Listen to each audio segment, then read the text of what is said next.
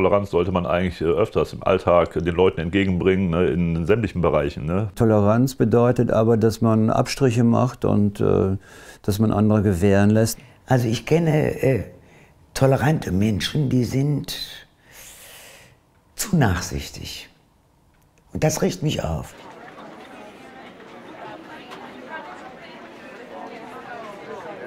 Es geht um bestimmte Randgruppen. Es geht um Alte, um Behinderte, um Schwule, um Lesben, um Transgender. Ich bin ja sehr gepierst und tätowiert und äh, die neuen Nachbarn haben da erstmal ein bisschen verdutzt geguckt. Ich erlebe das auch immer wieder, äh, dass ich versuche, tolerant zu sein, obwohl mein Bauchgefühl schon sagt, äh, der Typ ist nicht ganz koscher oder so. Ne? Aber ich versuche zumindest zu signalisieren, äh, meine Toleranz ist da und ähm, mach was draus. Als ich dann wirklich im Haus rumgelaufen bin, mich allen vorgestellt habe und als ich dann so die Hand gegeben habe, dass sie dann so, uh, was ist das? Ne? Erstmal so geschaut haben, ein bisschen irritiert waren. Da ist mein Kopftuch kein Problem, da ist, wenn jetzt einer sich entscheidet, ein Bier zu trinken, kein Problem oder wenn die andere vielleicht einen kürzeren Rock an, das ist alles kein Problem.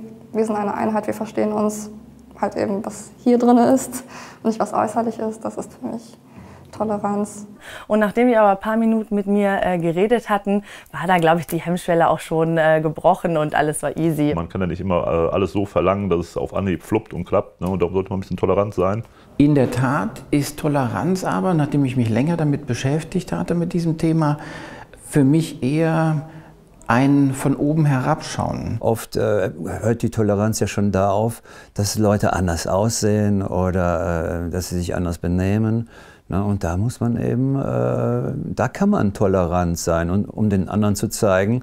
Na, also ich, ich gestehe dir das zu. Ich war einmal in Straßburg und da waren wir in der Altstadt.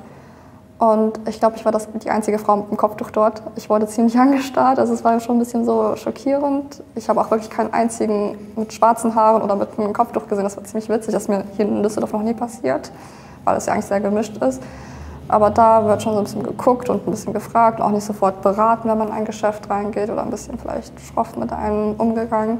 Das merke ich schon. Wir leben ja mittlerweile in einer Zeit, die ähm, in eine gewisse Tendenz gerade marschiert, die ich persönlich überhaupt nicht gutheißen kann. Wo es die ganze Zeit toleriert wurde, dass Ausländer in bestimmten Ecken lebten aber mit der Zuwanderung von vielen Menschen hat diese Toleranz, diese Duldung, dieses Leid, das ich an dem anderen habe, plötzlich schlagartig aufgehört.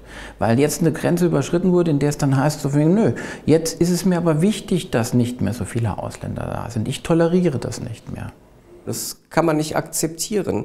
Also da hört dann die Toleranz auf ab einer bestimmten Radikalisierung. Das geht nicht.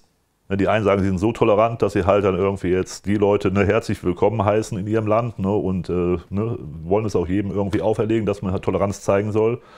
Der einen passt es, dem anderen schmeckt es halt nicht. Er sagt, er will sie nicht hier haben. Der andere sagt, warum denn nicht? Großes Land, wir sind reich. Ja, also manchmal denke ich auch, also das muss nicht sein oder der ist dies oder das. Und, ne, und beim anderen gehe ich dann darüber weg.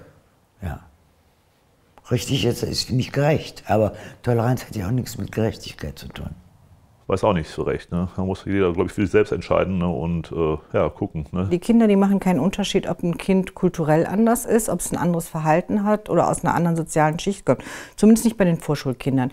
Das ist einfach, Kind ist Kind und ist da. Und ich denke auch in der Integration, also von behinderten Kindern würde das funktionieren, weil die das einfach annehmen und das ist so, wie es ist und sich darauf einstellen. Sind Kinder sehr offen und auch flexibler als wir. Die machen sich nämlich gar nicht so viel Gedanken. Von daher glaube ich, dass, die, dass viele Leute vielleicht einen kleinen Beweis dafür brauchen, aber eigentlich toleranter sind, als man denkt.